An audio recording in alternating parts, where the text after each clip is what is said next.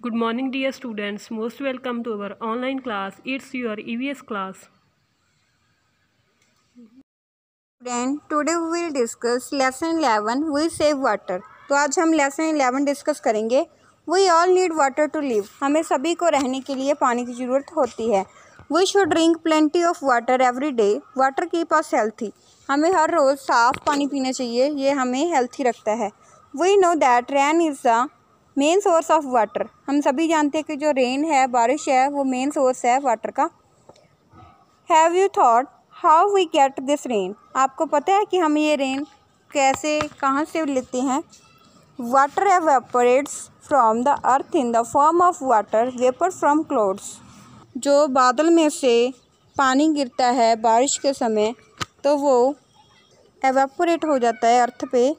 Then it falls on the earth in the form of rain, ये बारिश के रूप में अर्थ पे गिरता है। This rain water goes back into ocean seas rivers and ponds ये बहुत सारे ओशियंस में रिवर्स में पॉन्ड्स में गिरता है। It goes again as water vapour and form of clouds और फिर ये वेपर करके क्लाउड का रूप ले लेता है। दिस साइकिल कंटिन्यूस ये साइकिल हमेशा कंटिन्यू रहता है।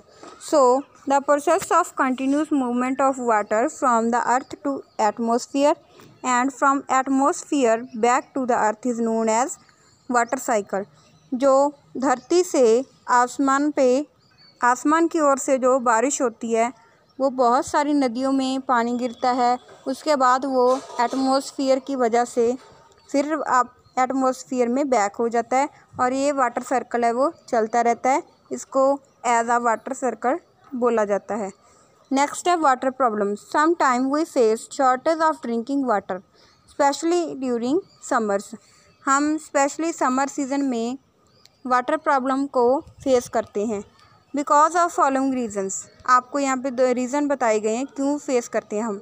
फ़र्स्ट है we have less rains this causes water problem come rain की वजह से, कम बारिश होने की वजह से वाटर प्रॉब्लम को फेस करते हैं। Second we cut down foresters that cause shortage of rainfall हम जो फॉरेस्टर्स हैं, उनको काट रहे हैं, जिसकी वजह से भी रेनफॉल कम होता है। During summers many points dry up people living in the villages have to walk a very long distance to fetch water जो गर्मियों के दिन होते हैं जो पॉन्ड्स हैं, वो ड्राई हो जाते हैं, सूख जाते हैं, जिसकी वजह से जो विलेजर्स लोग हैं, उनको पानी लेने बहुत दूर दूर तक जाना पड़ता है।